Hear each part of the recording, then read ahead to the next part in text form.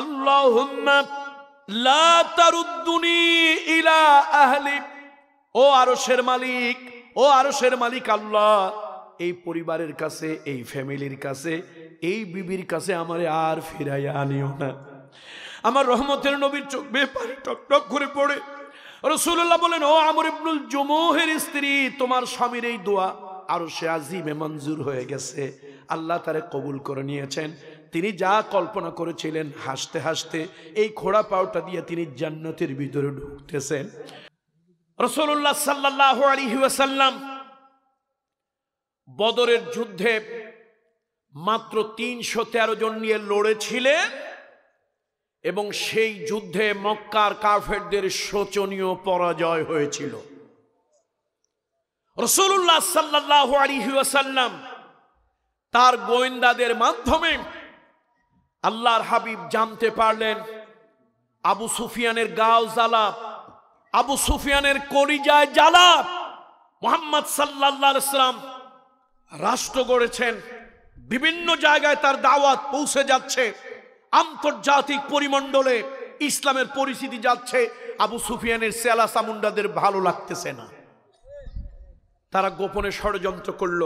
আমি বলি না, ইতিহাস খুলবেন তিন হাজার দুর্ধর্ষ বাহিনী নিয়ে অত্যন্ত গোপনে মদিনায় আক্রমণ করে মদিনাকে নিশ্চিন্ন করে দেওয়ার জন্য তারা রওনা হলো। শুনতেছেন তো আপনার আমার কথা? বাদশাহ তুব্বা করেছিল, আল্লাহ তাকে হেদায়ত নসিব করেছিল। কিন্তু বাদশাহ তুব্বার বিষয়টা আর আবু সুফিয়ানের বিষয়টা এক নয়। আবু সুফিয়ান সাতশো অশ্বারোহী ঘোড়ার পিঠে চড়ে যারা ক্ষিপ্ত গতিতে যুদ্ধ করে, প্রশিক্ষিত, এরকম কতজন? উটের পিঠে চড়ে যারা যুদ্ধ করে, উষ্ঠারোহী, তারা হলো আড়াইশো। পদাতিক সম্মুখ সমরে মুখোমুখি যারা কিলাকিলি, গুতাগুতি, কোবাকুবিতে লিপ্ত হয়, বাকিরা হলো এরকম। কয় হাজার? কয় হাজার? তিন হাজার! এবং আপনারা শুনে আরও আশ্চর্য হবেন, এই তিন হাজারের ভিতরে কয়েকজন যোদ্ধা ছিল, অত্যন্ত চৌকস তার ভিতরে একজন হলো জগৎ বিখ্যাত যোদ্ধা। কেমন পর্যন্ত যার মতো দ্বিতীয় কেউ হবে না, তিনি হলেন খালিদ বিন ওলিদ তাআলা তখনও তিনি মুশরিক, ইসলামের নিয়ামত তার নসিবে হয় নাই। আর আল্লাহ তালা তার কি ভাগ্য দিয়েছেন? তিনি কাফের অবস্থায় এবং মোমেন অবস্থায় কোন যুদ্ধে আল্লাহ তালা তাকে বিজয় পরাজয় আল্লাহ তালা তাকে দেন নাই। আল্লাহ আকবর। কাকে? খালিদ। কার সাথে আসছে? আবু সুফিয়ানের সাথে। রসুল্লাহ সাল্লাহ আলহি আসাল্লাম মদিনার সকল মেন মুসলমানদেরকে ডাকলে আল্লাহর হাবিব বললেন, আমি বিশ্বস্ত সূত্রে জানতে পেরেছি আবু সুফিয়ান এই মদিনাকে ইয়াসরিবকে ধোলায় মিটিয়ে দেওয়ার জন্য, ধ্বংস করে দেওয়ার জন্য, মুসলমানদেরকে হত্যা করার জন্য, তাদের মনোবল ভেঙে দেওয়ার জন্য দুর্ধর্ষ তিন হাজার যৌথ বাহিনী নিয়ে আসতেছে। আমার সেনাবাহিনী দরকার। তোমরা কারা কারা যুদ্ধে যেতে রাজি আছো? বনি সালামা গোত্রের একজন বুড়ো মানুষ গোত্রের তিনি মুরব্বী, গোত্রের তিনি প্রধান। চারটা তরুণ যুবক সন্তান নিয়ে রসুল্লাহর কাছে এলো। ইয়া রসুল আল্লাহ আমার এই চারটা তরুণ যুবক সন্তান আপনার জন্য আপনার জন্য, আমি ইসলামের জন্য, দিনের জন্য, আল্লাহর জন্য সন্তানগুলো কোরবানি করে দিলাম। ইয়া রসুল আল্লাহ আপনি তাদেরকে নিয়ে জেহাদের ময়দানে যান। নবীজি খুশি হলেন। অনেকেই আল্লাহ রসুলের কাছে এসে নাম লেখালো। বুড়ো মানুষ আমর ইবনুল জুমোহ। তিনি লক্ষ্য করলেন, মাত্র সাতশোর মতো বাহিনী হয়েছে, এখনও সাতশো পূর্ণ হয় নাই। বুড়ো মানুষ, যদিও বয়সটা বুড়া, ইতিহাস লেখে তার একটা পাও ছিল খোড়া, ল্যাংড়া আমরা একজন সাহাবির সম্মানে ল্যাংড়া বলব না। একজন সাহাবির সম্মানে আমরা তাকে মাজুর বলব কি বলব? সাহাবিদেরকে সম্মান করা উচিত না বলুন। যেই শব্দ ব্যবহার করলে তাদের অসম্মান হয়, আমরা সেটা না ব্যবহার করি। আমর ইবনুল জুমু, তিনি ছিলেন শারীরিক প্রতিবন্ধী। তার একটা পাও ছিল খোড়া। বুড়ো মানুষ আল্লাহ রসুল মাত্র সাতশো সেনাবাহিনী তৈরি করেছেন, এখনও সাতশো পূর্ণ হয় নাই। তিনি বললেন ইয়ার সুল আল্লাহ মদিনার জন্য, ইসলামের জন্য, আল্লাহ নবীর জন্য আপনি আমার নামটাও লেখান। আল্লাহ রসুল বললেন, আমর ইবনুল জুমুহ, আপনার নাম লেখা যাবে না। তার কারণ হলো আপনি একজন বুড়ো মানুষ, আবার শারীরিক প্রতিবন্ধী, মাজুর। আল্লাহ তাআলা এখন পর্যন্ত, আল্লাহ তাআলা এখন পর্যন্ত নারীদেরকে, শিশুদেরকে, বুড়ো মানুষদেরকে জেহাদে নেওয়ার জন্য আল্লাহ তালা কোনো নির্দেশ আমাকে দেয় নাই। শরিয়াতে এমন কোনো হুকুম আল্লাহ তালা এখনও দেন নাই। এই জন্য আপনাকে আমি নিতে পারব না। আমর ইবনুল জমু বলছি আর সুর আল্লাহ আপনি আমাকে বুড়ো দেখে নিতে চান না। ইয়া রসুল আল্লাহ আমি কিন্তু সাহসী আছি। ইয়া রসুল আল্লাহ অস্ত্র ধরার মতো এখনও আমার শারীরিক অবস্থা আছে। বারবার বলে বারবার বলে, নবীজি তার কথা গ্রাহ্য করলেন না, আল্লাহর হাবিব তাকে নিতে চাইলেন না। হঠাৎ বুড়ো তার দুই চোখ দিয়ে পানি ছেড়ে দিল। দুই চোখের পানি ছেড়ে বলল ইয়ার সুর আল্লাহ আপনি আমাকে জেহাদের ময়দানে নিতে চান না, অথচ আমি আমি যেন দেখতে পাচ্ছি, আমি আল্লাহ নবীর পক্ষে আমি অস্ত্র ধরেছি। কালেমার ঝান্ডা ধরেছি। দিনের জন্য আমি বীর দর্পে লড়াই করেছি। শহীদ হয়ে গেছি আমি। আমার এই ল্যাংড়া খোড়া পাউটা দিয়া টেনে টেনে খোড়ায় খোড়ায়া আমি হাসতেছি আর আল্লাহর জান্নাতে আমি প্রবেশ করতেছি। রসুল্লাহর চোখে পানি এসে গেল। আল্লাহর হাবিব বলেন, যাও, তোমার চার পুত্র সন্তানের সাথে তোমাকেও আমি কবুল করলাম। রসুল্লাহ সংবাদ পাঠালেন, খাজরাজ গোত্রের সেই গোত্রপতি আবদুল্লাহ ইবনে ওবাই ইবনে সুলুল তার খবর নিলেন। তিনি জানালেন, তার তিনশো বাহিনী হয়েছে। কতজন হয়েছে রসুল্লাহর হয়েছে কত? মিলে হলো কত? এক হাজার। এবার রসুল্লাহ মশওয়ারায় বসে গেলেন। বলো, আমরা এই যুদ্ধটা একটু ভিন্ন ধরনের। এই যুদ্ধ এই জন্য ভিন্ন ধরনের যেহেতু তারা বিভিন্ন গোত্র থেকে লোক সংগ্রহ করে দুর্ধর্ষ লোক এনেছে, সাতশো অশ্বারোহী নিয়ে এসছে, সাতশো ঘোড়ার বাহিনী, বিশাল ব্যাপার। সুতরাং কীভাবে আমরা তাদেরকে মোকাবেলা করতে পারি? ওই আবাকাবা, জুব্বা, পাগড়ি, দাড়িওয়ালা লোকটা দাঁড়ায় গেছে। নাম কি? কথা কয় না। আবদুল্লাহ ইবনে ওবাই ইবনে সুলুল। সে উঠে বলল, হুজুর, আমার পরামর্শ। যেহেতু আবু সুফিয়ান বড় একটা বাহিনী নিয়ে আসতেছে, কোথায় আছে, কোন রাস্তা দিয়ে ঢুকবে, আমরা জানি না। শেষে কি ঝামেলা হয়? একটা কাজ করে এটা উত্তম। এই বুদ্ধিটা, এই এই চালাকিটা উত্তম হবে। আমরা তাদেরকে শহরে ঢুকতে দেই। তারা শহরে আসবে।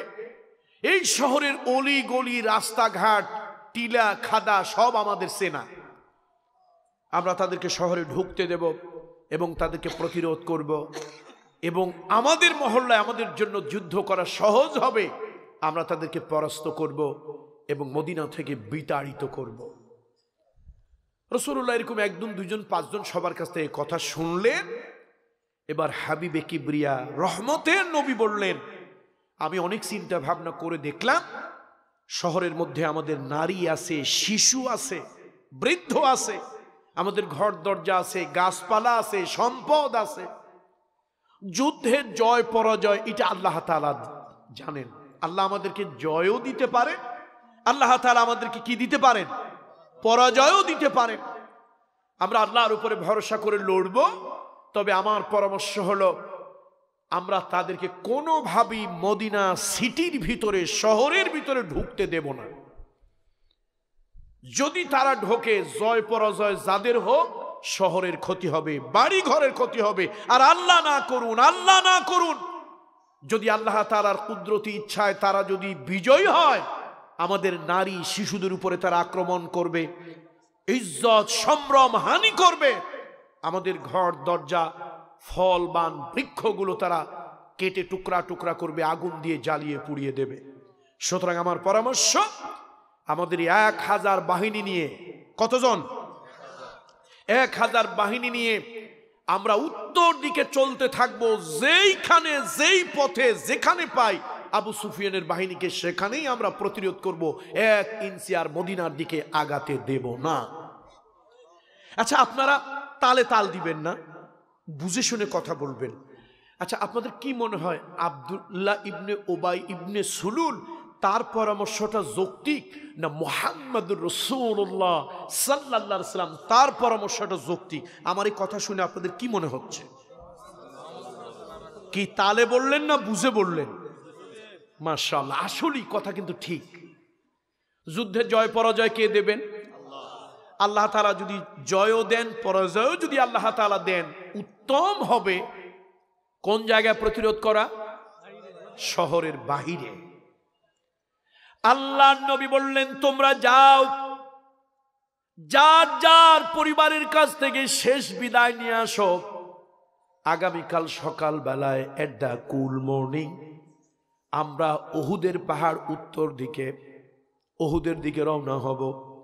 আমরা শুধু উত্তর দিকে যেতেই থাকব। যেই জায়গা গিয়ে আবু সুফিয়ানের বাহিনীকে পেয়ে যাই, ওই জায়গায় তাদেরকে প্রতিরোধ করব। রসুল উল্লাহ নির্দেশ দিলেন আবদুল্লাহ ইবনে ওবাই ইবনে সুলুল, নবী হলো ইমাম। নবী কি? তিনি হলো তার মুসল্লি। আল্লাহ রসুলের বা পাশে বা জামাত নামাজ পড়ে। রসুল্লাহর ইমামতিতে নামাজ পড়ে, যাদের চরিত্র ভালো হয় না, তাদের সন্তানদের চরিত্র টেকের হাটের পিসাব, সরমনার পিসাব সরসিনার পিসাব মোকামিয়ার পিসাব, সোনাকান্দার পিসাবের কাছে হাজারবার মুড়ি হইল, আল্লাহর কসম তাদের চরিত্র পাল্টাবে না। নবীজির পিছনে, আল্লাহর হাবিবের পিছনে বা জামাত নামাজ পড়ে, যাদের চরিত্র পাল্টায় নাই, ওরা তবলিক জামাতের একশো চিল্লা দিলে, হেফাজত ইসলাম আর জামাত ইসলামের আমিরও হলে ওদের চরিত্র পাল্টাবে। কথা শুনতেছেন তো? আজকে ইমান আর আকিদার কথা বলব। কথা ব্যথা লাগবে হৃদয়ে। কিন্তু ইমান আর আকিদা পাল্টানো দরকার। এদেশে টুপিওয়ালা, দাড়িওয়ালা, জুব্বাওয়ালার অভাব নাই। কিন্তু ইমান মজবুত মুসলমানের অনেক অভাব। আবদুল্লাহ ইবনে ওবা ইবনে সুলুল সং নবীর বিরুদ্ধে ফতোয়া দিল, মোহাম্মদ সাল্লাম গণতান্ত্রিক চর্চা করেন না। কি সুন্দর বুদ্ধি দিলাম আমি, আমার বুদ্ধিটা উনি রাখলেন না। উনি ওনার কথাটাকে গুরুত্ব দিলেন। এই আমার লোকজন কারা আসো এই যুদ্ধে আমি যাব না। তিনশো মুনাফিক! রসুল্লাহর সাথে এখন লোক রইল কয়জন? তিনশো লোক ভেগে যাওয়া। অল্প সংখ্যক সৈন্য থেকে তিনশো সৈন্য ভেগে যাওয়া। এটা সহজ ব্যাপার না, কঠিন ব্যাপার। মনোবল ভেঙে যায়, কিন্তু সাহাবিরা সংখ্যায় বিশ্বাসী নয়। সাহাবিরা ইমানে বিশ্বাসী। আল্লাহ নবী বললেন, যাও, যার যার বাড়ি যাও। শেষবারের মতো বিদায় নাও, খুব ভোরে রওনা হও। বনি সালামার ওই গোত্রের প্রধান মুরব্বী মানুষ, বংশের মুরব্বী আমর ইবনুল জুমুহ। আমর ইবনুল জুমু বাড়ি গেলেন, গিয়া বিবিকে সালাম দিলেন, ও বিবি আমি রসুর উল্লাহ সাল্লাহ ইসলামের সঙ্গে জেহাদের ময়দানে যাব। আল্লাহ নবীর থেকে আমি পারমিশন নিয়েছি। তুমি আমারে বিদায় দাও। ও গো আমার মায়েরা, বোনেরা, ও অশ্বদিয়া এই অঞ্চলের মহিলাদেরকে বলি, মা গো, তোমাদের কারণে ঘরে শান্তি আসে, আবার তোমাদের কারণে ঘরটা অশান্তি ভরে যা ঘরের মধ্যে ফ্রিজ আছে এয়ার কন্ডিশন আছে খাট পালঙ্ক আছে, আসবাবপত্র, তৈজসপত্র আছে, কিন্তু মহিলা ভালো না আসার ব্যবহার ভালো না। এই ঘরে যত লক্ষ টাকার সম্পদ থাক, আমি কামরুল ইসলাম বলে গেলাম, এই ঘরটা জাহান নামের একটা টুকরা। আবার ঘরের মধ্যে ফ্রিজ নাই এসি নাই, দামি কোনো খাট নাই, পালঙ্ক নাই, কিন্তু ঘরের নারী বড় ভালো, আন্তরিক, হৃদয়বান আচরণটা বড় মানবিক। ওই ঘরের পুরুষের জন্য এই ঘরটা জান্নাতের টুকরা। আমি আমার মায়েদেরকে বলি, মা গো, সদিয়ার মহিলারা, চতুর্দিকের মহিলারা, চোদ্দ গ্রামের মহিলারা, আপনারা যারা শুনছেন আল্লাহর ওয়াস্তে, আমি গোলাম, আল্লাহর গোলাম আল্লাহর গোলাম। আমার মতো একজন নগণ্য গোলামের কথাটা লিখে রাখেন। আপনি ঘরের মধ্যে অশান্তি করবেন না। মহিলারা অনেক সময় এমন কথা বলে, কথার ঝাঁজ ধাস এত বেশি। মনে হয় যেন ইটের দেওয়াল ভেঙে কথা ওই পাশ দিয়ে বের হয়ে যায়। এরকম মহিলা অবশ্য চোদ্দ গ্রাম উপজেলায় নাই। ওরে বাবা, কথার কি ধাজ আর তেজ? অবশ্য আপনারা ভালো, আমরা মাদারীপুর, গোপালগঞ্জের লোক তো। অন্য একটা কারণ আছে, বলব না। মুলাসুরিতে হয়তো আমার ফাঁসি হয়ে যেতে পারে। আমাদের দেশের মহিলার যে কি পাওয়ার রে বাবা? এ বেটা, এরকম হুমকি দেয় এ বেটা কত ঠিকঠাক মতো বলিস, লাল দালানের ভাত খাওয়ায় ছাড়বো। আমরা তো পুরুষ না, ঘর জামাই হিসেবে থাকি। কে হিসাবে থাকি? দেশের মালিক তো তারা, তাদের চোখ রাঙানিতেই তো আমাদের চলতে হয়। এ দেশে পুরুষ আছে আছে কিছু হোলা বিলেই বন্ধুরা আমার আমর ইবনুল জুমো বাড়ি গেছে। শান্তি তো স্ত্রীর কাছে। ও আয়াতুল্লাহুম আন খালাকালাকুম মিন আনফুসিকুম আজওয়াজান লিতাসকুনু ইলাইহা ওয়া জাআলা বাইনাকুম মাওয়াদ্দাতাও ওয়া রাহমা। আমার মা বোনরা যদি ভালো হয়, ঘরটা জান্নাতের টুকরা। মা বোন যদি খারাপ হয়, ঘরটা কিসের টুকরা? আমর ইবনুল জুমুহ বুড়ো মানুষটার কথা মনে আছে? বিবিকে গিয়া বলল, বিবি, আমাকে বিদায় দাও রসুল্লাহর সাথে আমি যাচ্ছি। বিবি বলল, তোমার মতো একজন বুড়ো মানুষ, ল্যাংড়া মানুষ, খোড়া মানুষ, তুমি জেহাদের ময়দানে যাবে না। তুমি তো গিয়ে একটা ভেজাল লাগাবে পেস লাগাবে। যুদ্ধের দাম আমার যখন বেজে উঠবে, তরবারির ঝঙ্কার যখন শোনা যাবে, তুমি তো পিছন দিক থেকে কা পুরুষের মতো পালাবে। তোমার পালানো দেখে কত মানুষের হৃদয় ভয় ঢুকবে, তারাও পালানোর চেষ্টা করবে, তুমি যাবে না। আমর ইবনুল জুমু বলছে, তুমি আমাকে যা ভাবো তা নয়, আমি বুড়ো হতে পারি। কিন্তু আমার ইমানটা বুড়ো নয়। আমার উপরে যত বড় আঘাত আসুক, যত কঠিন পরিস্থিতি হোক, আল্লাহর নবীকে ছেড়ে আমি পালাবো না। স্ত্রী আবার বলছে, একবার, দুইবার, তিনবার। ও চোদ্দ গ্রাম উপজেলার ভাইরা, বাবাজিরা, মুরব্বীরা লাঠির আঘাত দায়ের আঘাত অস্ত্রের আঘাত দেহে লাগে দুই দিন, চার দিন পরে দূর হয়ে যায়। কিন্তু জিহুবার আঘাত, কথার আঘাত, কলিজায় লাগে। এইটা মৃত্যু পর্যন্ত কলিজায় থেকে যায়। আমর ইবনুল জমু স্ত্রীর কথায় বড় আঘাত পেলেন কলিজার ভিতরে। সঙ্গে সঙ্গে দুই কানা হাত আকাশের দিকে তুললেন আর আল্লাহকে বললেন আল্লাহ ইলা আহলি। ও আমার মালিক, এই পরিবারের কাছে আমাকে আর তুমি ফিরাইয়া নিও না। এই বলে সালাম দিয়ে তিনি রওনা হলেন, একবারও পিছনের দিকে ফিরে তাকালেন না। সকালবেলায় খুব ভোরে সাহাবিরা রওনা হলেন ওহুদের দিকে। ওই ওহুদ পাহাড়টা আপনারা যারা দেখেছেন আমিও কতবার দেখেছি। ওহুদকে দেখে আমার কলিজার মধ্যে একটা মায়া লাগে। তার কারণ হল আমার দিনের নবী অহুদের ব্যাপারে বলেছেন আল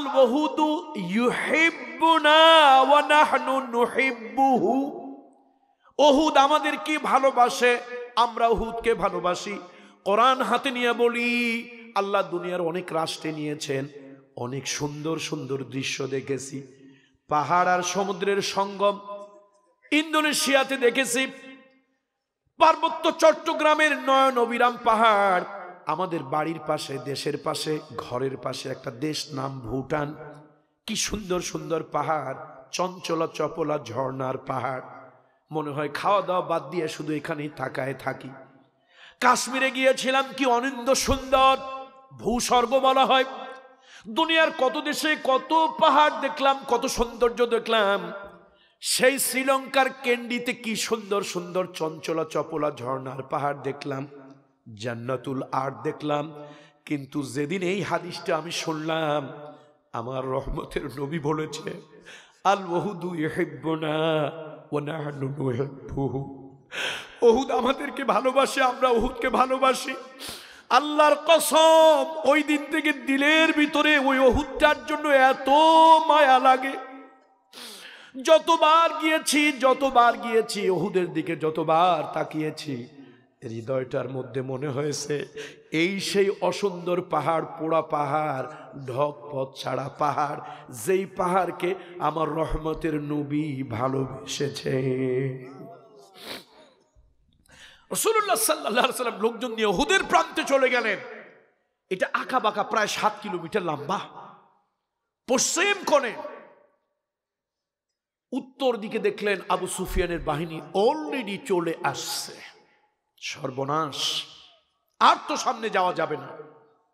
পশ্চিম কোণে, পূর্ব দক্ষিণ দিকে মানে ওহুদের পশ্চিম পাড়ে দক্ষিণ পূর্ব কোণে রসুল্লাহ বললেন, এখানেই তাবু গাড়ো কতজন সাহাবি রসুল্লাহর সাথে? রসুল্লাহ পঞ্চাশ জন তীরন্দাজকে আলাদা করলে। স্কিল হ্যান্ড, সুনিপুণ হাতে যারা তরবারি তীর চালাতে জানে, পঞ্চাশ জনকে রসুল্লাহ বললেন, তোমরা যাও, ওই ওহুদের গিরি পাহাড়ের ভিতরে গিয়ে এখানে তোমরা অবস্থান নাও। যুদ্ধে আমরা জয়, পরাজয়, যাই হই, এই জায়গা তোমরা ছাড়বে না।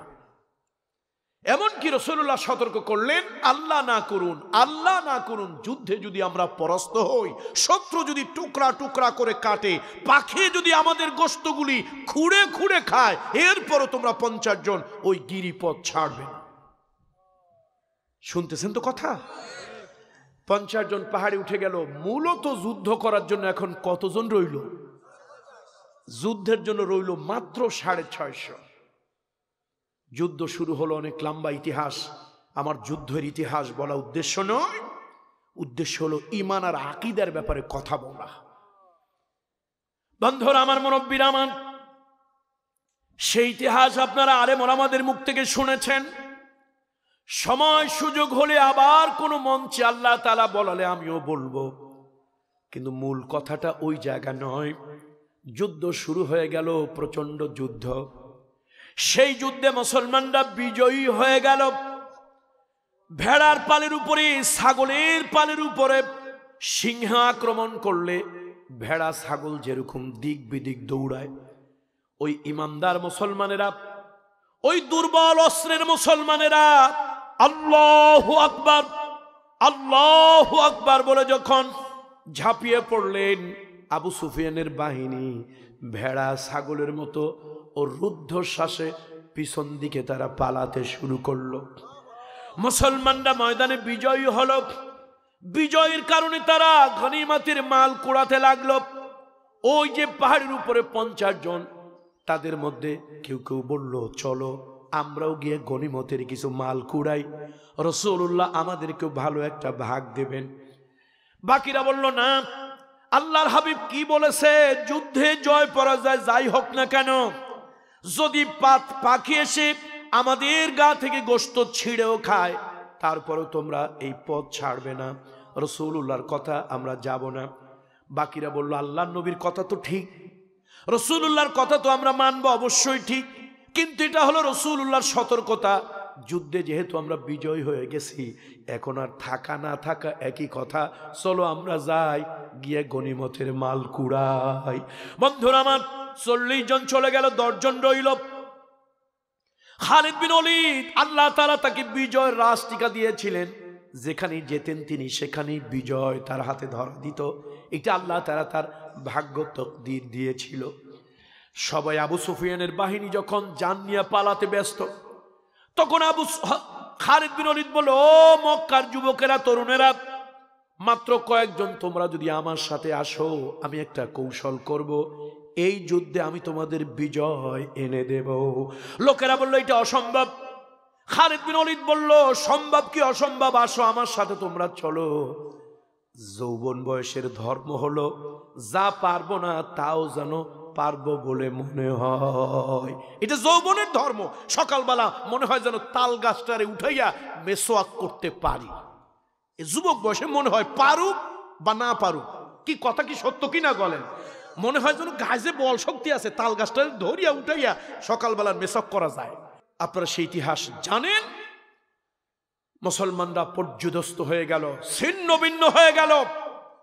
কাফেররা যখন দেখল পরিস্থিতি তাদের অনুকূলে, তারা আবার ফিরে এলো। আক্রমণ শুরু করল। রসুল্লাহ সাল্লা সাল্লাম পাগড়ি যেরকম বেঁধেছেন, আবার প্রয়োজনে মাথায় লোহার হেলমেটও পড়েছে বড় একটা পাথর মারলো রসুল্লাহর মাথার মধ্যে লোহার হেলমেটটা ঢুকে গেল, ভেঙে গেল। আর একটা পাথর মারা হলো, হাবিবে কিবরিয়ার দামদান শহীদ হলো, রক্ত ঝরতে ঝরতে রসুল্লাহ আপনার অসুস্থ হয়ে পড়লেন। তলহা এসে আল্লাহ নবীর সামনে বিরাট বড় দেহ ছিল, তলহা রাদি আল্লাহ তালানহুর রসুল্লাহর সামনে এসে নিজের গাওটাকে, দেহটাকে ঢাল বানিয়ে দিল, ভাইরা, রাগ করেন না, রাগ করেন না। আমি আঘাত দিই ইমান জিন্দা করার জন্য। আপনার দলের বিরুদ্ধে আমি কামরুল ইসলাম সাহিদ যত বড় বুজুর্গ আল্লাহওয়ালার সন্তান হই, আমি যদি আপনার দল নিয়ে পাঁচটা মন্তব্য করি, বাজে মন্তব্য, আপনার রক্তে আগুন জ্বলবে, কলিজার ভিতরে শিহরণ জাগবে, আপনি আমাকে সুস্থভাবে এখান থেকে যেতে দেবেন না। কিন্তু একবারও চিন্তা করেন না, আপনার দলের বিরুদ্ধে, নেতার বিরুদ্ধে বললে কলিজার ভিতরে শিহরণ জাগে। যেই নবী আপনার এই জাহানের কান্ডারি যেই নবী আপনার ওই জাহানের কান্ডারি সেই নবীর বিরুদ্ধে ব্লগে আজে বাজে বিশ্রী কথা রাখা হয়। সেই নবীকে নাটকে, সিনেমায়, টেলিভিশনে আল্লাহ নবীর আদর্শের উপরে কথা দেওয়া হয়। রসুল্লাহর চরিত্র নিয়ে কথা বলে, তুমি উম্মত, তোমার কলিজায় আগুন লাগে না, আঘাত লাগে না, তুমি রাজনৈতিক কারণে তুমি অন্ধ হয়ে, বোবা হয়ে, নিশ্চুপ হয়ে থাকো। তুমি রসুল্লাহর উম্মত নাও। তুমি আস্থা টাটকা একটা বোবা শয়তান। বন্ধুরা আমার বন্ধুরা আমার, তুমি যদি তোমার নেতার বিরুদ্ধে, দলের বিরুদ্ধে কেউ কথা, মিথ্যা কথা বললে, তোমার গায়ে যদি শিহরণ জাগে, তো তোমার নবীর জন্য কেন জাগবে না? কেন জাগবে না? আমার দেশের গোয়েন্দারা অনেক কিছু খুঁজে পায়। কোন মন্ত্রীকে কে হুমকি দিল, কোন প্রধানমন্ত্রী নিয়ে কে বাজে মন্তব্য করল, গোয়েন্দারা তা খুঁজে পায়। কিন্তু আমার দেশের গোয়েন্দারা কি গাঁজা খায় না ফেন্সিডিল খায়? আল্লাহ রসুল নিয়ে ব্লগে লেখালেখি হয়, আমরা সাধারণ মানুষ থাকলে দেখি, পড়ি, কিন্তু ওনাদের চোখে কখনো পড়ে না। কাঠের চশমা পড়লে কেমনে চোখে দেখবেন? কাঠের চশমাটা খোলেন, কাছের চশমাটা পড়েন। ওহুদের ময়দান, লম্বা ইতিহাস, কথা আমার শেষ। রসুল্লাহ সাল্লামে কি হয়েছিল আপনারা জানেন? আল্লাহর হাবিবের কি হয়েছিল জানেন? রসুল্লাহর ইন্তেকাল করেছে, আল্লাহর হাবিবকে হত্যা করা হয়েছে। নাউজুবিল্লাহ বলেন, এই কথা যখন ছড়িয়ে দিল, কাদ কুতিলা মোহাম্মদ তখন মদিনার মহিলারা পাগল হয়ে গেল। একজন যুবক সাহাবি ছিল হানজালা। বিয়ে করেছে নবী বললেন, যাও, তোমার আমি ছুটি দিলাম। নবীর কথা শরিয়াত। নবীর কথা কি? আল্লাহর হাবিবের হুকুম শরিয়াত। নবী যদি বলেন হ্যাঁ ওইটা বৈধ। নবী যদি বলেন, না, ওইটা না অবৈধ, হারাম। নবী যদি চুপ থাকে কোনো ব্যাপারে, হাও বলে না, নাও বলে না, ওইটা কেয়ামত পর্যন্ত শরীয়তের দলিল। আল্লাহ আকবর। আমার নবী বলেছে, তোমার যুদ্ধে যাওয়া, কথা কয় না তোমার যুদ্ধে যাওয়া যাও, তোমার ছুটি দিলাম, তোমার বউ নিয়ে নতুন বিবাহ। বউ নিয়ে তুমি বাসর কাটাও। সারা রাত স্ত্রীর সাথে কাটিয়েছেন, ফজরের সলাদ পড়েছে স্ত্রীর সাথে একটু রং তামাশা করেছেন, আনন্দ করেছেন, গোসলে যাবেন, হঠাৎ মহিলাদের, শিশুদের চিৎকার রসুল্লাহ দুনিয়ায় নাই। হানজারা সহ্য করতে পারেনি রসুল্লাহ দুনিয়ায় নাই, তো আমি দুনিয়া থেকে লাভ কি? তাড়াতাড়ি ঘরে গিয়ে যুদ্ধের পোশাকটা পরলে তরবারিটা হাতি নিয়ে বিবিকে বললেন, বিবি, যদি বেঁচে আসি, গাজী হিসাবে দেখা হবে। যদি শহীদ হয়ে যায়, জান্নাতের সিঁড়িতে আল্লাহ তোমার সাথে আমার পরিচয় করিয়ে দেবে। চললেন হানজালা। রসুল্লাহর মাথার ভিতরে লোহার কয়রা ঢুকে গিয়েছে। কোন সাইন্টিফিক ইকুইপমেন্ট, কোন অপারেশন থিয়েটারের যন্ত্রণা এটা উঠাবে কি দিয়া? আবু বকর সিদ্দিক সিদ্ধান্ত নিলেন, আপাতত দাঁত দিয়ে কামড়ায় ধরে ওটার উঠাইতে হবে না হলে রসুল্লাহকে বাঁচানো যাবে না। ও মুসলমান, ইসলাম কারে বলে? ইমান কারে বলে? একটা চিৎকার আসলো হুদের ময়দান থেকে। আবু বকর সিদ্দিক ছিলেন জ্ঞানী, গুণী, অন্তর্দৃষ্টি সম্পন্ন, ধীমান, বুদ্ধিমান, বুদ্ধিজীবী। তার জ্ঞানের দূরদর্শী আল্লাহ আকবার পৃথিবীতে কম মানুষেরই ছিল? আবু বকর সিদ্দিক ওই চিৎকার শুনে পিছনের দিকে তাকাই একবার চেহারা দেখল। তিনি বুঝতে পারলেন, এই পাগলকে যদি থামানো হয়, পাগল কলিজা ফেটে মারা যাবে। পাগলের নাম আবু উবাইদা ইবনুল জার্রাহ। বললেন আবু বকর সিদ্দিক, কেউ সামনে আগাবে না। কেউ আগাবে না, আবু উবাইদা আগাবে। আবু উবাইদা পাগল জানে, ওই পাগল কলিজা ফেটে মারা যাবে যদি তারে সুযোগ দেওয়া না হয়। আবু বয়দা চিন্তা করল, যতবার আমি দাঁত দিয়ে কামড়াবো, যতবার টান দেবো, ততবার নবী ব্যথা পাবে। আমার কলিজা যদি ছিঁড়ে যায়, আমার রহমতুল্লিল আলমিনকে একবারের বেশি, দুইবার আমি কষ্ট দেব না। তাতে আমার জান থাক অথবা আমার জান যাক। রসুল্লাহর রক্তগুলি চেটে চেটে খেয়ে ফেলতেছে, জিব্বা দিয়ে চেটে পরিষ্কার করতেছে। লোকেরা জিজ্ঞেস করল আবু উবাইদ ইবনুল জাররা বলছে, রহমতুল্লিল আলমিনের রক্ত এই জমিনে পড়লে আমার আশঙ্কা, এই জমিনে আল্লাহর গজব নাজিল হয়ে যাবে। এবার সেই লোহার কয়রাকে দাঁত দিয়ে কামড়ায় ধরে ঝটকা জোরে একটা টান মেরেছে। নিজের সব অস্তিত্বের শক্তি একত্রিত করে দিয়ে সাথে সাথে আবু ওবায়দা ইবনুল জাররার দুটি দাঁত ভেঙে ওহুদের ময়দানে শহীদ হয়ে পড়ে গেছে। এর নাম ইসলাম। তোমার জিলাফি খাওয়া ইসলাম, শুক্রবার দিন মসজিদে দেওয়া ইসলাম, অবৈধ টাকা দিয়া লাখ টাকার কোরবানি দেওয়া ইসলাম এটা নয়। বন্ধুরা আমার রসুল্লাহ একটু সুস্থ হলেন। মাঝখানে অনেক ঘটনা তো আপনারা জানেন। আল্লাহর হাবিব একটু সুস্থ হলো, মাথায় পট্টি লাগানো হলো, রক্তগুলি মোছা হলো। হুজুর অসুস্থতার মধ্যে বললেন, যারা শহীদ হয়েছে শহীদ হয়েছে ওদেরকে আলাদা করো, গোসল ছাড়া দাফন দাও। যারা আহত হয়েছে, দ্রুত তাদের চিকিৎসার ব্যবস্থা করো। হঠাৎ একজন মহিলা আসছে। মহিলা সে রসুল্লাহর কাছে বলছি আর রসুল্লাহ আমি বনি সালামা থেকে এসেছি। আমার স্বামী আমর ইবনুল জুমুহ। হুজুর, তিনি চারটা পুত্র সন্তান আসছিলেন, শহীদ হয়ে গেছে। আমার স্বামীর লাশটাকে আমি বাড়ি নিয়ে দাফন করব। যাতে করে সকাল সন্ধ্যায় দেখতে পারি, জিয়ারত করতে পারি। হুজুর উটের পিঠে নিয়ে উটকে টানলাম, চেষ্টা করলাম, উট গলা ছিঁড়ে যায়, এক কদম সামনে আগায় না। উটকে পিঠায় উট বসে পড়ে, শুয়ে পড়ে, কিন্তু লাশ নিয়ে সামনে যায় না। আল্লাহ নবী অসুস্থ। এর ভিতরে রসুর উল্লাহ বলেন, ও আমর ইবনুল জুমুহের স্ত্রী, তোমার স্বামী বাড়ি থেকে বিদায় নিয়ে আসার সময় কোনো কথা বলছিল নাকি? মহিলা কাঁদে আর বলি আর রসুল আল্লাহ আমি আমার ব্যবহার দিয়ে আসার আচরণ দিয়ে, কথা দিয়ে স্বামীর একটু আঘাত দিয়েছিলাম। আমি মনে মনে ভেবেছিলাম, বুড়ো মানুষ, অক্ষম মানুষ, ল্যাংড়া মানুষ, সে হয়তো ময়দান থেকে ভেগে আসবে, জেহাদের ময়দানে যেতে পারবে না। এই জন্য আমার কিছু কথা তার দিলে আঘাত লেগেছিল। দুইখানা হাত আকাশের দিকে তুলে তিনি দোয়া করেছিলেন। আল্লাহুম্মা লা তারুদ্দুনি ইলা আহলি ও আরশের মালিক, ও আরশের মালিক আল্লাহ, এই পরিবারের কাছে, এই ফ্যামিলির কাছে, এই বিবির কাছে আমারে আর ফিরাইয়া আনিও না। আমার রহমতের নবীর চোখ বেয়ে পানি টক টক করে পড়ে। রসুল্লাহ বলেন, ও আমর ইবনুল জমোহের স্ত্রী, তোমার স্বামীর এই দোয়া আরও সে আজিমে মঞ্জুর হয়ে গেছে। আল্লাহ তারে কবুল করে নিয়েছেন। তিনি যা কল্পনা করেছিলেন, হাসতে হাসতে এই খোড়া পাউটা দিয়ে তিনি জান্নাতের ভিতরে ঢুকতেছেন। সুতরাং তোমার স্বামীর লাশ নেওয়া যাবে না। ও সাহাবিরা, সবাইকে দাফনের ব্যবস্থা কর। হঠাৎ সাহাবিদের চিৎকার শোনা গেল। মুসলমানদের ভিতরে একজন কাফের লাশ পাওয়া গেল। তার নাম হলো উসাইরাম। সদিয়া উসাইরাম তাকে দেখে সবাই অবাক হল। উসাইরাম তো মুসলমান নয়। ইসলামের দাওয়াত তাকে অনেকবার দেওয়া হয়েছিল। তিনি এই দাওয়াত গ্রহণ করেন নাই। তিনি হলো জগৎ বিখ্যাত সাহাবি হোজাইফাতুল ইয়ামান, তার ভাগিনা, বোনের ছেলে। ব্যাপার কি উসাইরামের লাশ এই জায়গা কেন? মোমেনদের লাশের ভিতরে। তার লাশটা সরাতে গিয়ে একজন চিৎকার দিয়ে উঠল, উসাইরাম মারা যায় নাই। দেখো, এখনও জিন্দা আছে, ঠোঁটের আগায় তার রুহুটা আছে। সাহাবিরা তার কাছে গিয়া বলল, উসাইরাম, তোমাকে অনেকবার দিনের দাওয়াত দিয়েছি, কালেমার দাওয়াত দিয়েছি, কিন্তু তুমি তো ইসলাম গ্রহণ করো নাই।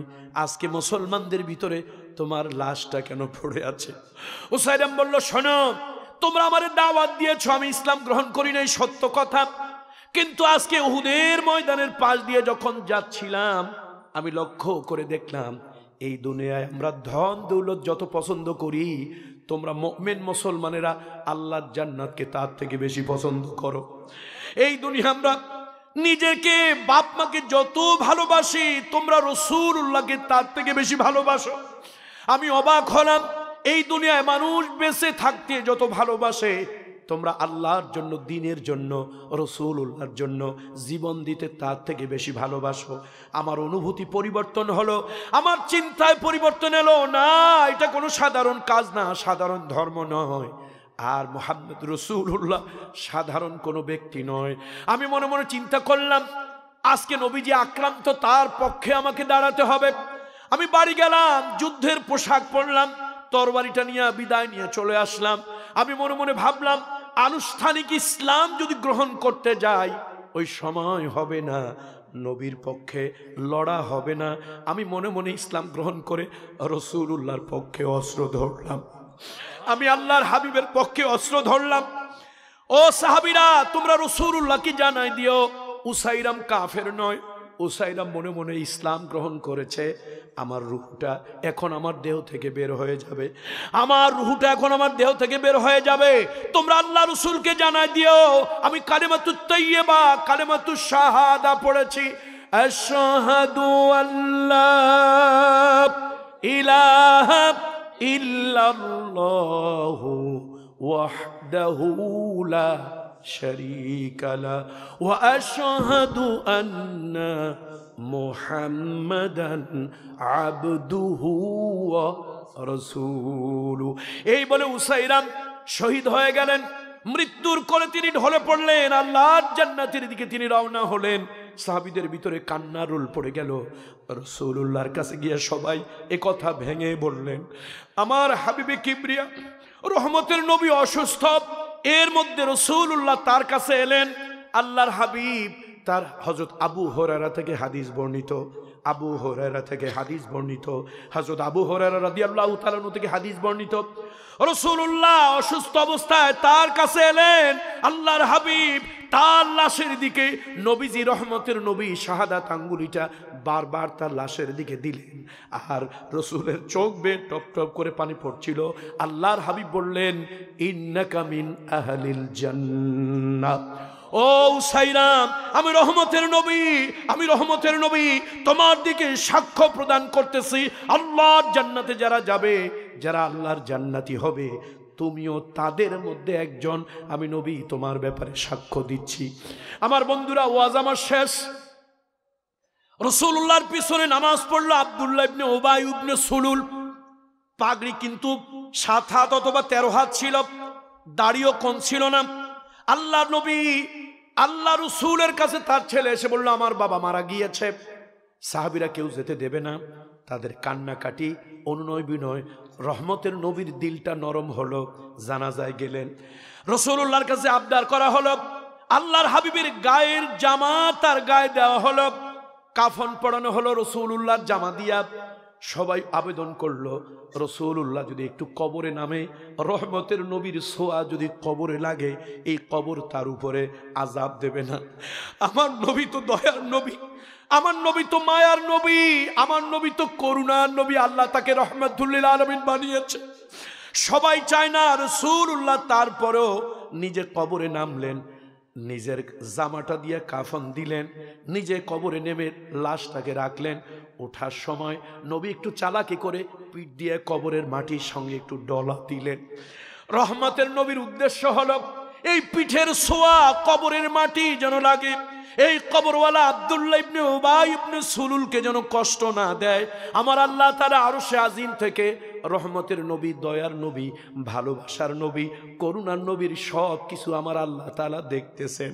আমার আল্লাহ জানিয়ে দিলেন, হাবিব, আপনি নরম হৃদয়ের মানুষ। ও হাবিব, আপনি যদি তার জন্য হাজার বার দোয়া করেন, এই ভেষধারী, লেবাসধারী, নামধারী, পোশাকধারী, এই মোনাফিক মুসলমানকে আমি ক্ষতিকর কোনো আমি তাকে আমি তাকে, আমি আল্লাহ তালা ক্ষমা করব না।